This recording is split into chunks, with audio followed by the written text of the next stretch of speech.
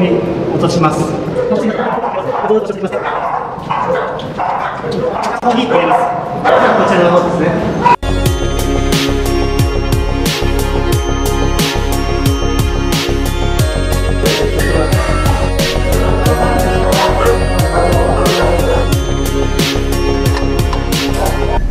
この年でこの容姿だったらあまりもらい手つかないからそうですそしたらやはり少し訓練するとか。